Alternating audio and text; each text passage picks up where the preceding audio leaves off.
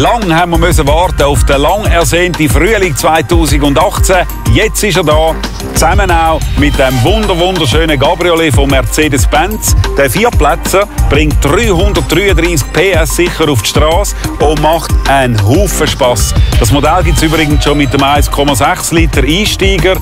Ich kann nur sagen, unbedingt einmal Probe fahren.